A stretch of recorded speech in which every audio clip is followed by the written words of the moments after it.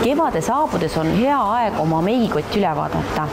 jumestaja Madeleine Mustonen aitab meil valida Yvonne Milano valikust just need õiged tooted välja. tutvusta meile Yvonne Milano brändi lähemalt ja miks sa just need tooted välja valisid, millest sa nüüd juttu teed?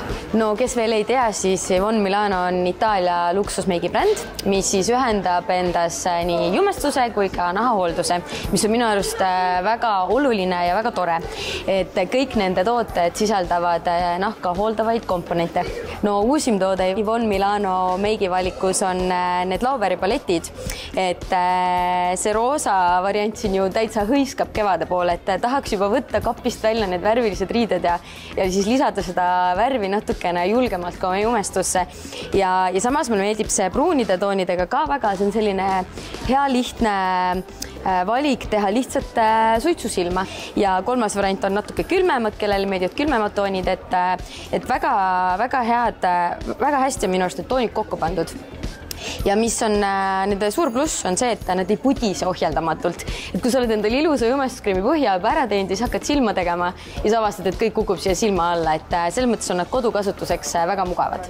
siis nüüd siin lõpet-, kooli lõpetamiste ja pulmapidude eel ma võt-, võtaksin fookusesse selle Matte and Wear kauapüsiva jumestuskreemi. Mul on ta täna peal ka, ta on selline natuke tummisem, katab väga hästi ja minule meeldib teda peale kanda švammiga, et siis sa saad sellise hästi ilusa siidise ühtlase kihi ja samas ei lähe teda liiga palju. Ja ühtlasi võitis see toode ka kaks tuhat kakskümmend neli Boudoiri ilulemmiku tiitli.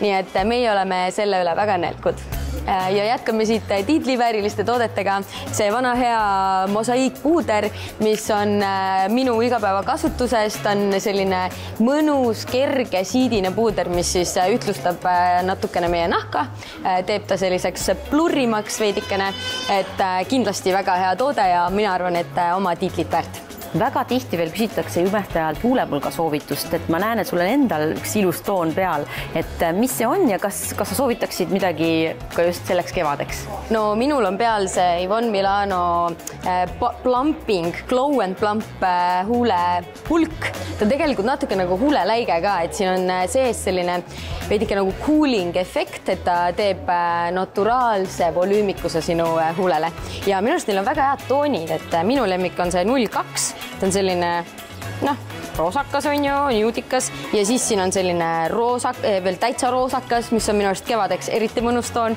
et äh, minu jaoks on väga oluline see, et äh, huulepulk ei kuivataks ja seda see toode kindlasti ei tee, et see E-vitamiin siin sees äh, niisutab mõnusalt ja, ja terve päeva on selline hästi mõnus tunne. väga head soovitused, aitäh sulle, aga kust neid Yvonne Milano tooteid saab endale soetada ja kas on mõni hea pakkumine ka? Yvonne Milano tooteid saab soetada kõikides Magda Beauty poodides Rotermannis, Kadaka teel, Kristiine keskuses ja Rocca al Mare keskuses. Ning kuni teise maini kehtib miinus kakskümmend protsenti siis kõikidele Yvonne Milano toodetele